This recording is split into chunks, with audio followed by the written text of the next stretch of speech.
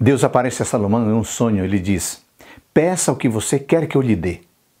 É impressionante que, em vez de Salomão pedir a Deus riqueza ou a morte de seus inimigos, ele pede o dom da sabedoria. Esta resposta agrada a Deus, que promete riquezas e honra a Salomão, bem como a sabedoria que ele pediu.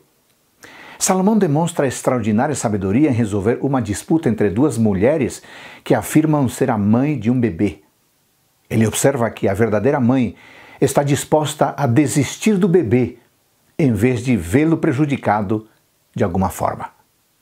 Observe o seguinte: antes de pedir, Salomão reconhece que 1. Um, Deus é misericordioso.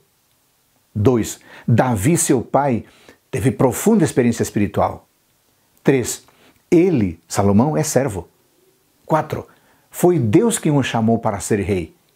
5. É inexperiente para a tarefa. Depois de reconhecer tudo isso, então pede senso de justiça e discernimento. Em resumo, pede sabedoria. Ao conversar com Deus, reconheçamos seu amor, agradeçamos por seus caminhos, assumamos postura de servos e falemos de nossas limitações e de nossas necessidades.